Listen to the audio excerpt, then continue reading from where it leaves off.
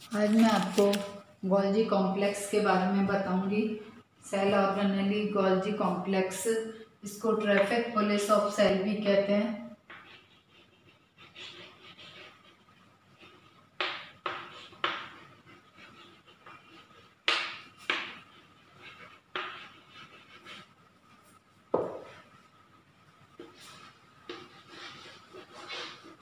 Golgi complex. Plant cell में इसको डिक्टियोसोम्स कहते हैं। पर आम भाषा में सभी इसको गोल्जी कॉम्प्लेक्स ही कहते हैं। बाकी जो प्लांट सेल में पाई जाती है गोल्गी बॉडी उसको कहते हैं dictyosome traffic police of cell इसलिए कहते हैं क्योंकि सभी बड़े अणु जिनको कोशिका बाहर भेजती है गोल्जिका से होकर गुजरते हैं। सबसे पहले एल जॉर्ज ने गोल्जी कॉम्प्लेक्स को देखा। कैमिलियो गोल्गी ने उल्लू की तंत्रिका कोशिकाओं में कैमिलो गोल्गी ने उल्लू की तंत्रिका कोशिकाओं के कोशिका द्रव्य में चांदी अभिरंजन विधि द्वारा गोल्जिगाई की खोज की। कोशिकाओं में ईआर से संबंधित थैलीनुमा संरचनाएँ जो समूह में पाई जाती है तथा झिल्ली द्वारा बनी होती है, जिसमें द्रव भरा रहता है गोल्जी बॉडी कहलाती है। प्लांट सेल में इस संरचना को डिक्टियोसोम कहते हैं। यह संपूर्ण कोशिका द्रव्य में बिखरी होती है। ये प्रोकैरियोटिक जैसे बैक्टीरिया साइनोबैक्टीरिया माइकोप्लाज्मा सेल्स में एब्सेंट होती है। इसे इडियोसोम लाइपोकॉन्ड्रिया या बेकर्स बॉडी या गोल्जी बॉडी या डाल्टन कॉम्प्लेक्स के नाम से भी जाना जाता है। यह लाइपोप्रोटीन की 60 परसेंट प्रोटीन और 40 परसेंट लिपिड सिंगल मेम्ब्रेन की बनी होती है। एनिमल सेल में यह कटोरे के आकार की होती है।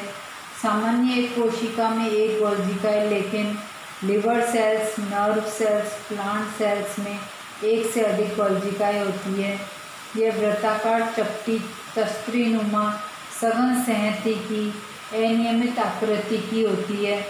उच्च जंतु व पादप कोशिकाओं में ईआर से जुड़ी हुई महीन महीन व कण रहित चिकनी नलिकाओं का गुच्छा पाया जाता है इसे गोल्जिकाएँ कहते हैं। प्रत्येक कोशिका के केंद्र के समीप कई गोल्जिकाएँ पाए जाते हैं। अधिक सक्रिय कोशिकाओं में पूर्ण रूप से विकसित होती है। गोल्जिकाय की संरचना परिवर्तनशील होती है। यह अनेक प्रकार की संरचनाओं का एक कॉम्प्लेक्स है। यह किस किस से मिलकर के बनी होती है? सिस्टर्नी कहते हैं इसको कुंडिकाएँ दूसरा होता है ट्यूब्यूल्स नलिकाएँ जिसको कहते हैं, तीसरी होती है वेसिकल्स या पुटिकाएँ जिसको कहते हैं यह तीन से मिलकर के बनती है। सॉरी चौथी वेसिकल्स कहो इसमें सिक्रिटरी वेसिकल्स होती हैं, कुछ स्त्रावी पुटिकाएँ होती हैं और कुछ बड़ी पुटिकाएँ होती हैं। तो ये लार्ज वेसिकल्स कहलाती हैं। तो ये चार कोशिकाओं, चार तरह की कोशिकाओं से मिलकर के बनती है। सबसे पहले सिस्टर्नी या कुंडिकाएँ या चपटे कोश भी कहते हैं। दूसरा ट्यूब्यूल्स नलिकाएँ, तीसरा सिक्रेटरी वेसिकल्स या पुटिकाएँ, चौथा है लार्ज वेसिकल्स या बड़ी पुटिकाएँ। सबसे पहले सिस्टर्नी। ये विभिन्न आकार से, विभिन्न आकार की बनी चपटी तथा कुछ मुड़ी हुई थैलियों का एक समूह होता है। यह थैलियाँ घनी, समानांतर झिल्लियों के रूप में होती है। प्रत्येक समूह में चार से दस तक थैलियाँ होती हैं, जो कि कहीं कहीं एंडोप्लाज्मिक रेटिकुलम से जुड़ी होती है। इन थैलियों की झिल्ली दोहरी परत वाली होती है। एक के ऊपर एक थप्पी के रूप में व्यवस्थित होती है। कुंडिकाएँ के मध्य नोड्स रहती हैं। एनिमल सेल में गोल्जिकाएँ चार से दस सिस्टर्नी पाई जाती है। प्लांट सेल की गोल्जिका में दो से बीस सिस्टर्नी पाई जाती है। एक गट्ठर के रूप में व्यवस्थित रहती है। कुंडिकाएँ की सतह बहुत ही मामूली रूप से मुड़ी होती है, जिससे यह कटोरी की आकृति ग्रहण कर लेती है। Convex which is toward nucleus सतह पर स्थित कुंडिकाएँ को सिस फेस समपक्ष तल पर फॉर्मिंग फेस या सरूपण तल कहते हैं।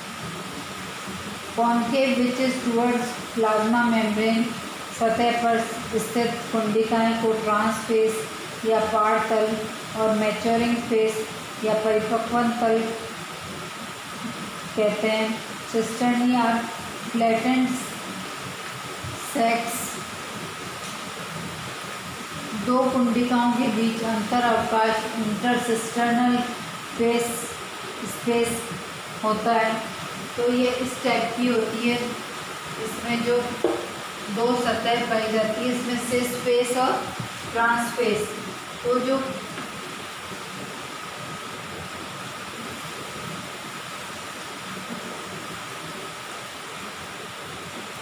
तो जो ये कॉन्वेक्स साइड है, ये तो कहलाती है सिस फेस और जो कॉन्केव साइड है, वो कहलाती है ट्रांसफेस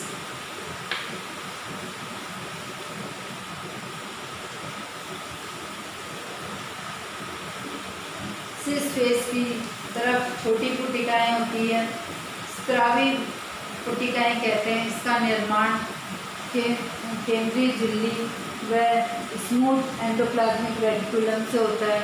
ट्रांसफेस की तरफ़ बड़ी पुटिकाएँ होती हैं, जिसे लार्ज वेसिकल्स या वेक्यूल्स कहते हैं। वर्जिकाएँ में ध्रुवता पाई जाती है, क्योंकि इसकी दोनों सतह अलग अलग प्रकार की होती है। कोशिका की प्रकृति व क्रियात्मक अवस्था के आधार पर इन अवयवों का आकार छोटा होता है तो ये इस प्रकार की भी पाई जाती हैं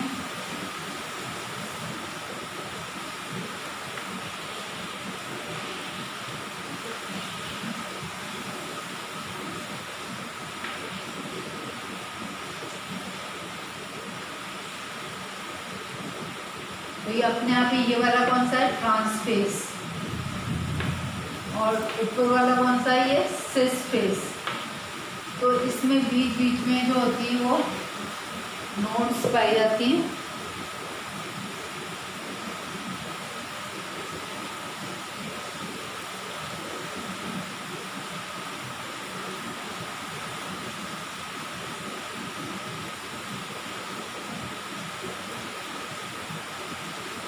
और जो इसमें बुटिकाएँ पाई जाती हैं ये यहाँ पे पाई जाती हैं।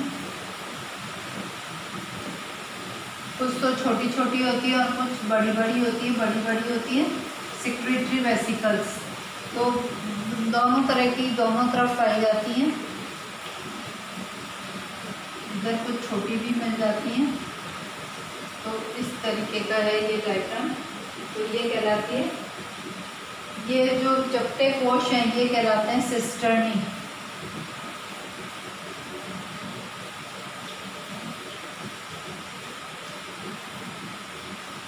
एट्रीब्यूट्स नलिकाओं का निर्माण सिस्टर्नी के मुकुलन या उनके सिरों पर संकुचन उत्पन्न होने से भी होता है।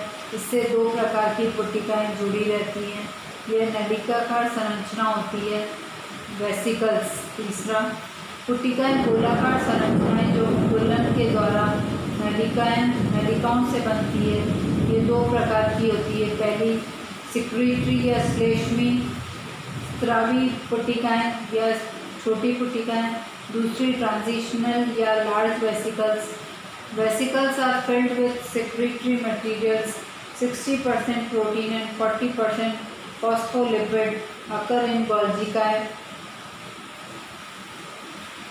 स्त्रावी पुटिकाओं का निर्माण ट्रांसफेस की सबसे बाहर वाली सिस्टर्नी से होता है। ये दो प्रकार की होती है रफ और स्मूथ रफ वेसिकल सतह खुरदरी होती है, गोलाकार अतिवृद्धियाँ होती है, यह सिस्टर्नी के सिरों पर पाई जाती है। दूसरी है स्मूथ वेसिकल्स सतह चिकनी होती है, जिसमें स्त्रावी पदार्थ पाए जाते हैं। यह द्रव्य हाइलोप्लाज्म कहलाता है। दूसरी प्रकार की लार्ज वेसिकल्स ये बड़े थैले जैसी अनियमित ग्रंथल संरचनाएँ हैं, जो गोल्जिकाय के ट्रांसफेस की तरफ़ पाई जाती हैं। इसका निर्माण सिस्टर्नी के विस्तार या छोटी पुटिकाओं के फ्यूजन से होता है। इनमें कणिकीय पदार्थ भरा होता है। अब गोल्जिकाय की उत्पत्ति। Plasma membrane nuclear membrane smooth endoplasmic reticulum से होता है। रफ एंडोप्लाज्मिक रेटिकुलम पर राइबोसोम के लुप्त होने से कुंडिकाएँ में, कुंडिकाओं में बदल जाता है। अब गोल्जिकाय के फ़ंक्शंस क्या कार्य हैं? सबसे पहला कार्य इसका स्त्रवण है, सिक्रीशन। कोशिका में जिस स्थान पर गोल्जिका स्थित होता है, वहाँ इनके द्वारा कई पदार्थों का स्त्रवण किया जाता है। स्त्रावी कोशिकाओं में ये कोशिका काफ़ी बड़ा व विकसित होता है। अस्त्रावी कोशिका में कम विकसित होता है। लिवर व पेंक्रिया सेल में निरंतर स्त्रवण की क्रिया होती रहती है। गोल्जिका जिन पदार्थों का स्त्रावित करती है वह इसे एंडोप्लाज्मिक रेटिकुलम से प्राप्त होते हैं। गोल्जिका अपनी सिस सतह द्वारा पदार्थों को प्राप्त करती है। अंतःप्रद्रव्य जालिका गोल्जिका को प्रोटीन तथा लिपिड सप्लाई करती है। एंडोप्लाज्मिक रेटिकुलम से प्राप्त पदार्थों का गोल्जिकाय रासायनिक रूपांतरण करती है। जैसे गोल्जिकाय प्रोटीन तथा लिपिड को, लिपिड का ग्लाइकोसिडेशन करती है। इस परिवर्तन से ग्लाइकोप्रोटीन व ग्लाइकोलिपिड बनते हैं। रासायनिक रूपांतरण के बाद कोल्जिका पदार्थों को पुटिकाओं, पदार्थों को पुटिकाओं को भरकर अपनी ट्रांस सतह से कोशिका के बाहर निकाल देती है। यह रिवर्स पिनोसाइटोसिस या व्युत्क्रमित कोशिका पायन की क्रिया है। सभी वृहत अणु जिनको कोशिका बाहर भेजती है गोल्जिकाय से होकर गुजरते हैं, अतः गोल्जिकाय को principal director of macromolecular traffic in cell भी कहते हैं। दूसरा कार्य formation of hormones endocrine glands की कोशिकाओं में गोल्जिकाय हार्मोन सिक्रीशन में मदद करती है। थायराइड ग्लैंड की सेल्स में, गोल्जिका में, किसी भी प्रकार की क्षति के परिणाम स्वरूप थायराइड हार्मोन के स्त्रवण में कमी आती है। तीसरा formation of cell plate in plants कोशिका विभाजन में सेल प्लेट का सेल प्लेट के निर्माण के समय गोल्जी तंत्र की पुटिकाएँ कटकर सेल प्लेट या सेल पट्टिका, कोशिका पट्टिका की ओर सरकते रहते हैं और नए कोशिका पट्टिका का निर्माण करते हैं। चौथा फ़ंक्शन है cell wall formation plant cell में साइटोकाइनेसिस के समय सेल प्लेट का निर्माण करती है। वॉल्जिगा ऐसे पदार्थों का निर्माण करती है जो सेल वॉल के निर्माण जो सेल वॉल का निर्माण करते हैं। फिर नेक्स्ट है हेल्थ एंड एंजाइम फॉर्मेशन वॉल्जिगाए एंजाइम सिंथेसिस के सेंटर होते हैं। एमाइलेस डाइजेशन एंजाइम का संश्लेषण करती है। ये है वॉल्जिगाए के बारे में बताया। और जो इसमें सेल ऑर्गेनलीज होती हैं, वो इस प्रकार से हैं कि जो प्लांट सेल या एनिमल सेल प्लांट सेल में जो सेल ऑर्गेनलीज पाई जाती हैं, वो हैं, पहले बॉल्जी का है गोल्जी बॉडी दूसरा है एंडोप्लाज्मिक रेटिकुलम फिर है वैक्यूल्स जो कि प्लांट सेल में सबसे ज़्यादा बड़ी क्या होती हैं? Vacuoles nucleus chloroplast mitochondria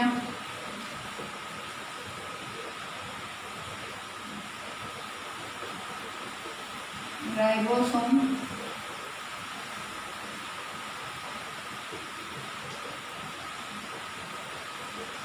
peroxisomes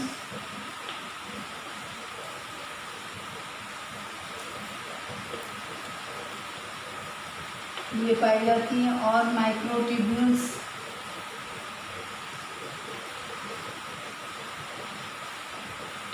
स्फीरियोसोम्स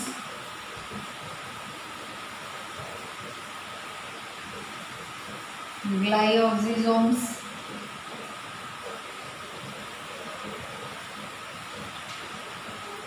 तो ये तीन जो सेल ऑर्गेनिटी है ये डबल मेम्ब्रेन है। इस पर दोहरी झिल्ली पाई जाती है। और जो ये number one two three four five six seven ये सारी जो है वो कैसी सिंगल मेम्ब्रेन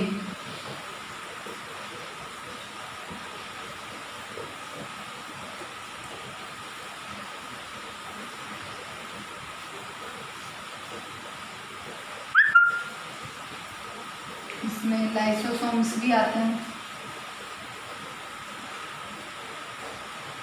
और जो राइबोसोम है, ये है मेम्ब्रेन लेस इस पर कोई झिल्ली नहीं पाई जाती है।